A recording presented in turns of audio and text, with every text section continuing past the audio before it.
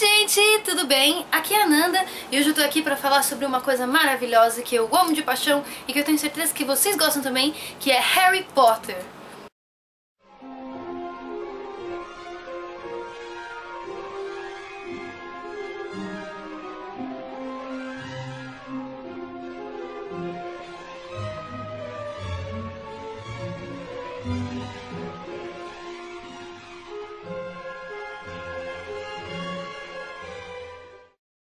Vocês sabem, Harry Potter é uma série de livros, são sete livros, escritos pela autora inglesa J.K. Rowling. Vocês não sabem a história desse livro, eu vou contar pra vocês já já, mas vamos falar um pouco mais sobre o que aconteceu com essa mulher. Primeiro, pra falar que ela ficou trilhardária, né, de tanto que ela vendeu esses livros. Porque eu sou rica! Mas até Harry Potter chegar às livrarias e nós entrarmos em contato com esse mundo mágico, J.K. Rowling levou portada na cara um monte de vezes. Tentou um monte de editora, ninguém queria, achou que não ia dar certo. Porém, uma editora publicou um, uma quantidade pequena desses livros, fez um baita sucesso. O primeiro deles é Harry Potter e a Pedra Filosofal. Fez um sucesso do demo, J.K. Rowling continuou e aí no sétimo ela disse que ia parar. Mas, para não deixar o mundo mágico de fora, ela ainda escreveu os livros como Os Animais Fantásticos e Onde Habitam, Os Contos de Beedle o Bardo, Quadribol Através dos Séculos e Hogwarts Uma História. Todos esses livros também foram publicados para chegar às nossas mãos. Eu até tenho Os Animais Fantásticos, que é esse livro pequenininho Olha! aqui. É bonito como ele foi publicado, né? Porque tem até aqui propriedade de Harry Potter. Você vai abrindo o livro, ele tem até algumas anotações que tecnicamente seriam feitas pelo Harry, esse tipo de coisa. Então é interessante você comprar esses livros se você puder por conta disso. Agora vamos falar da história. Para vocês que não conhecem a história, o que eu acho muito difícil. Harry Potter, a gente conhece a história dele desde que ele era bebê. O livro e o filme começam no momento em que o Harry é um bebê. E o Dumbledore e a Minerva, que são professores da escola de Hogwarts, eles levam o Harry para sua tia, que é a irmã da mãe dele. Sei. E ele fica na casa deles até completar 11 anos. Quando ele completa 11 anos, ele recebe a carta de Hogwarts e descobre que ele é um bruxo. Depois disso, ele vai para um mundo mágico de Hogwarts, onde ele conhece um monte de gente. Ele conhece o Ronnie, Hermione, conhece um monte de gente filha da puta, tipo o Draco também. A sinopse principal é essa. No primeiro livro, nós descobrimos uma pedra, A brisa do crack é o seguinte. que é a Pedra Filosofal, que ela te protege. Ela te protege e te deixa Em outra lei, mano. Durante esse primeiro livro, esse primeiro filme, o Harry está se acostumando com Hogwarts, já que ele acabou de chegar, ele tem que lidar com seus inimigos e tudo mais. E enquanto isso, acontece um monte de problema na escola. E todo mundo tentando entender o que estava acontecendo. E perto do final, ele descobre que o vilão do filme tá tentando voltar, que é o Voldemort, que é, é o vilão principal dos livros e do filme, né? O vilão mora, assim. Tem até uma briga dele com o Harry. Bem resumidamente, é isso. Já na Câmara Secreta, que é a sequência, acontece mais treta pra vida do cara. A Câmara Secreta foi aberta, que é uma câmara que tecnicamente existe em Hogwarts, apesar da Minerva e dos outros professores não darem muita atenção pra isso. Ficam falando que não existe, que na verdade é só uma lenda. E eu me lembro dessa cena do filme que a Minerva, ela chega a falar sobre a Câmara Secreta como ela foi criada, que o Salazar Sonserina, que é um dos criadores das quatro casas de Hogwarts, ele criou a Câmara Secreta pra proteger um monte de coisa. Enfim, durante o filme vai acontecendo coisas com os alunos. Eles ficam sob um feitiço que eles ficam petrificados. É perigoso. Minerva fica falando que tem que fechar a escola e o Harry, desesperado porque ele ama aquela escola, ele e os dois amigos, o Ron e a Hermione, eles ficam tentando resolver o problema, procurar quem é o responsável para então falar pro diretor e resolver o problema todo. No final, ele descobre quem era que estava causando as treta toda, quem foi enfeitiçada, que foi a irmã do Ronnie, que inclusive é apaixonadíssima por ele. Aí no final, mais uma vez, o Harry descobre mais coisas sobre o Voldemort. Ele descobre sobre o passado dele, descobre que o verdadeiro nome dele é Tom Riddle. Tem a, o livro, né, o diário dele, que durante o filme e o livro ele conversa com o diário. Depois disso, eles têm, têm umas treta todo. O Harry destrói o diário no final e aí acaba. Aí vem o terceiro livro, a gente achando que ia estar tudo bem, menos treta, né? acontece a melhor coisa da minha vida, porque pra mim é o melhor livro e o melhor filme, na minha opinião, tá? Que a gente conhece o padrinho do Harry, que é o Sirius Black. É interpretado pelo Gary Oldman, que eu adoro de paixão. O Sirius é uma das minhas paixões. Uma das minhas tatuagens que eu queria fazer era escrever Padfoot aqui no, no pulso, que é almofadinhas, que é como ele é chamado pelos amigos dele. O Sirius foge da prisão, né? Todo mundo achando que ele era um assassino, tinha matado 12 trouxas. E na verdade não foi ele, ele foi acusado injustamente. A gente descobre isso durante o filme e durante o livro. Eles falam sobre a época dos marotos, que são chamados os quatro, que é o James, o pai do Harry, o Sirius, o Pettigrew, a gente descobre que ele que na verdade matou os 12 trouxas, e o Lupin, que é o professor de defesa contra a arte das trevas. A gente descobre que é um animago, que é uma pessoa que pode se transformar em algum animal. Então nós descobrimos várias outras coisas no universo Harry Potter. Algumas coisas que não são mencionadas nos filmes, por exemplo, os vampiros, que também existem nesse universo, é, é importante lembrar, porque é, é legal para você ver que, que no mundo de Harry Potter existem de tudo, né? Lobisomem, vampiro, ninfas, sereias. Maconha.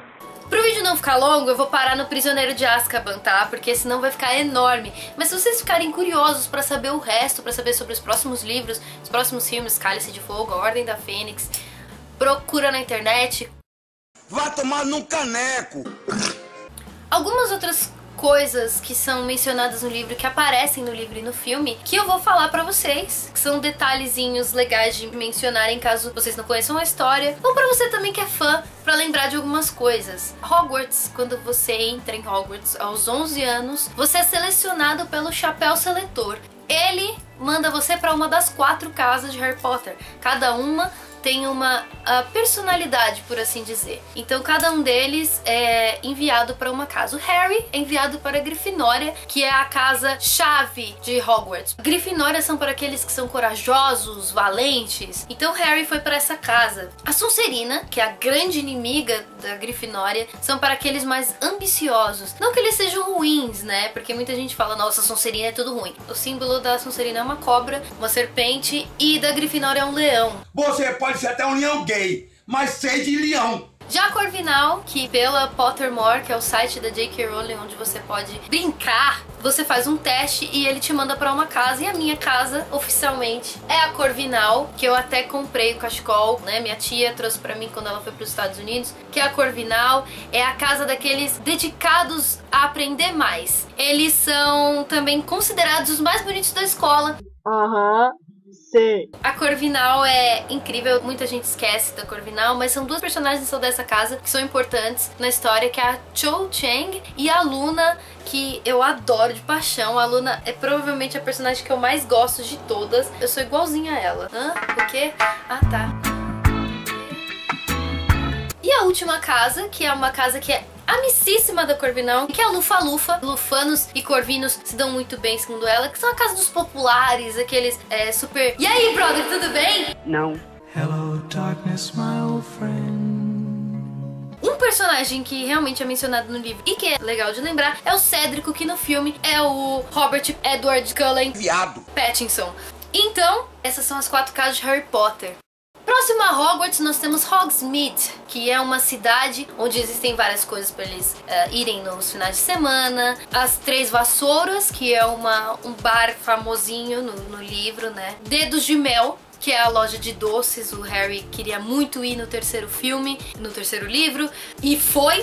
Conseguiu com a capa da invisibilidade que ele ganhou no primeiro filme, no primeiro livro. Tem o, o banco também, Gringotes, que é por ali. E agora no parque do Harry Potter eles fizeram o dragão maravilhoso, ele cospe fogo. Quando eu olhei aquele banco eu quis gritar e morrer porque foi sensacional. Eu não tive a chance de ver isso quando eu fui, mas eu adorei e fiquei fascinada quando eu vi as imagens. Mas enfim, temos também o Beco Diagonal, onde você compra os seus itens, onde você compra seu uniforme de Hogwarts, onde você escolhe a sua varinha, Ollivanders.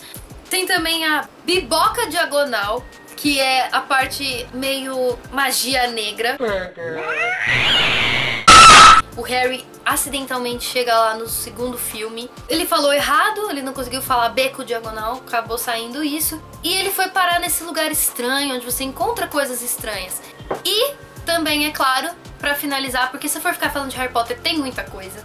Além de Hogwarts, só pra vocês saberem, tem mais escolas. No livro é mencionado até uma escola brasileira, que no filme não aparece, mas ela... Porque foi uma escola que não conseguiu passar, parece, pra, pra disputar o cálice, né? Olha só, o brasileiro tá sempre nessa, não conseguiu chegar lá, né?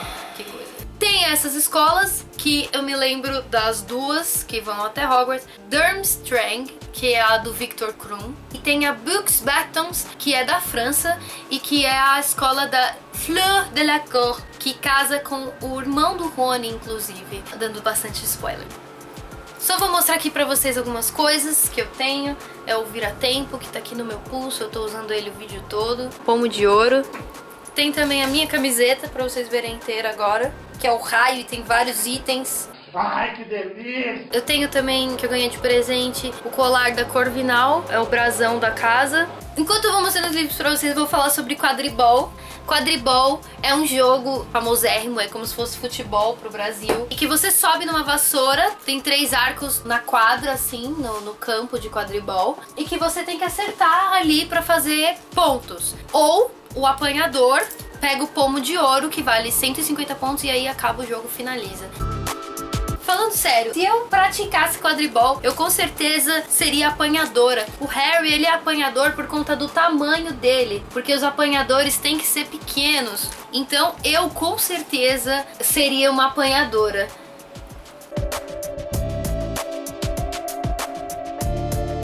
Tem os filmes também.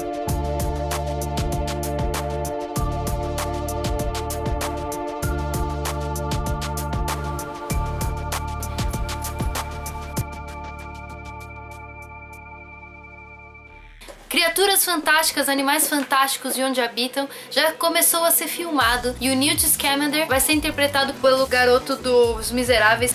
Hoje é dia 18 de agosto e as filmagens começaram ontem, dia 17. É, eu estou muito ansiosa porque é ver Harry Potter mais uma vez no cinema de certa forma e só para vocês ficarem informados aí sobre tudo. Pessoal, é isso. Muito obrigada por vocês terem assistido esse vídeo. Espero que vocês tenham gostado. Se eu esqueci de alguma coisa ou se eu falei alguma bosta, pode dar um dislike aí, mas eu prefiro que você dê um like, por favor, porque eu sou muito simpática. Se vocês gostaram de outras coisas ou de algo mais, por favor, clique em gostei também. O que vale é me ajudar, porque eu sou uma pessoa ótima, linda, maravilhosa. Ai, que linda! Diga nos comentários, fala pra mim seu filme preferido, seus personagens preferidos. Eu amo o Sirius demais. Vocês também querem casar com ele um dia? Perdeu porque eu já casei. Se você ainda não é uma preguiçinha, por favor, se inscreva logo aqui embaixo que o Google guia você. Um beijo no coração e até a próxima.